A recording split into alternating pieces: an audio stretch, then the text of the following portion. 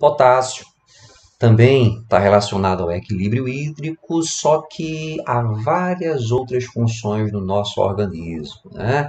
Crescimento, contração muscular, impulso nervoso, assim como o sódio, regulação ácido-base, regulação do pH, né? Fontes de potássio, também dificilmente a gente vai ter dificuldade com potássio.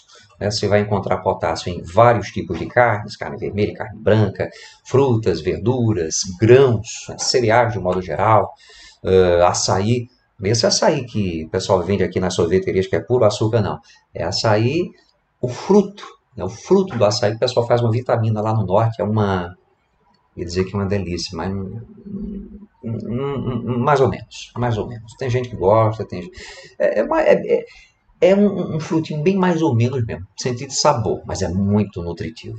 Um antioxidante mais poderoso que existe na face da Terra. Magnésio, né, gente? O magnésio é o, é o sal mineral mestre. Ele regula vários outros sais do nosso corpo. Na verdade, o, o magnésio ele regula mais de 300 funções em nosso organismo. E geralmente as pessoas têm carência de magnésio, porque os nossos solos são pobres em magnésio. Né? Coloquei aqui apenas algumas funções desse mineral, né? funcionamento dos músculos, transmissão nervosa, né? transmissão do impulso nervoso, regulação da pressão arterial. E nós temos algumas fontes de, de, desse mineral. Hortaliças, de modo geral, são as principais. Né? Carnes, peixes, mas a principal, hortaliças, o brócolis, é uma, é uma fonte fantástica desse, desse mineral. Ferro, gente, é fundamental aqui para a produção das moléculas de hemoglobina, que são as proteínas que trabalham aqui na condução, estão presentes no nosso sangue, que tem como função transportar o oxigênio pelo nosso corpo. Né? Se você tem problema com ferro, carência de ferro, você vai ter dificuldade na produção de hemoglobina e você fatalmente vai ficar com anemia. Agora, muita gente que tem anemia vai ter esse problema não por carência de, de ferro, é, de ingestão de ferro, né? mas por carência de cobre. É que o ferro ele não é tão bem absorvido se você tiver carência de cobre. Então, carência de cobre implica em carência de ferro, fatalmente. Principais fontes de, de ferro são as carnes, tá? alimento de origem animal, principalmente as carnes. Os vegetais verdes também têm ferro, só que a biodisponibilidade é pequena. Tu vai ter que colocar um vinagrinho lá, acidificar as hortaliças para poder absorver o ferro que tem ali, senão vai ser perdido. Está aqui o cobre, né? Eu falei, o cobre também tem a ver com a formação das moléculas de hemoglobina, por conta está ligado aqui à absorção do ferro.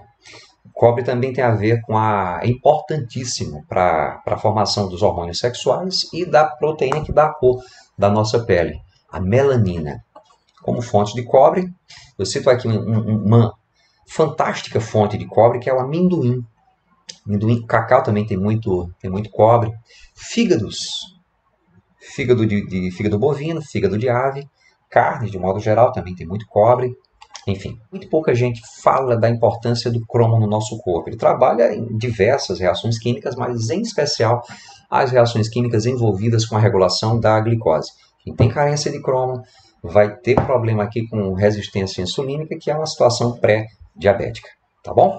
Ó, fonte de cromo, carne bovina, batata, maçã, banana, espinafre, enfim, são apenas algumas das fontes desse mineral. Muita gente tem que fazer suplementação. É, quem tem resistência insulínica deve fazer suplementação de cromo na forma de picolinato de cromo.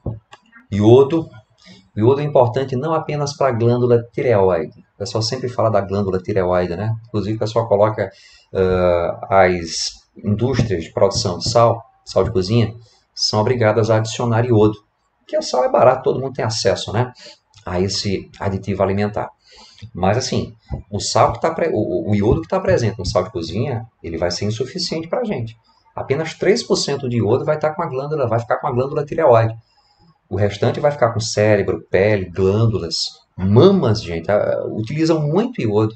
Não é à toa que mulheres, muitas mulheres desenvolvem bócio, que as mamas, elas utilizam boa parte do iodo e a tireoide vai ficar com pouca, né? A tiroxina vai ser produzida em pequena quantidade e as mulheres vão desenvolver o bócio. O homem também pode desenvolver bócio, mas é menos provável porque o homem não tem mamas desenvolvidas. Tem mama, mas é atrofiada.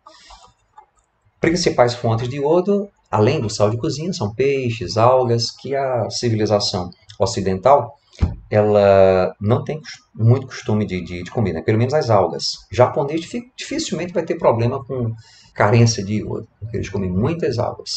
Flúor. O pessoal geralmente associa o flúor à manutenção dos dentes, mas essa coisa não está muito bem estabelecida hoje, não.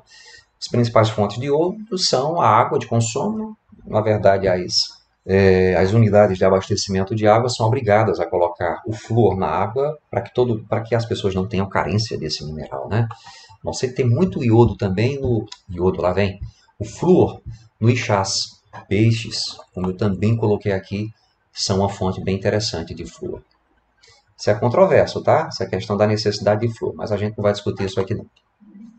Manganês. Manganês tem a ver aqui com a regulação da glicose, síntese de várias proteínas, produção de colesterol no fígado, cicatrização e condução do impulso nervoso. Pelo menos essas são as principais funções desse mineral. Principais fontes do manganês, uh, hortaliças, frutos em geral. Zinco, gente. Zinco é um antioxidante poderosíssimo. Quando alguém falar em antioxidante para vocês, bota na cabeça de vocês, ó. Anticâncer, anti-problemas cardíacos, né? E mais, anti-Alzheimer, anti-Parkinson, anti-envelhecimento, tá? Um antioxidante é anti tudo isso aí, tá bom? Atua no sistema imunológico, importantíssimo. Não é que com esse negócio da, da, da pandemia aí, o pessoal tá... É, os médicos estão indicando a suplementação de, de zinco, né?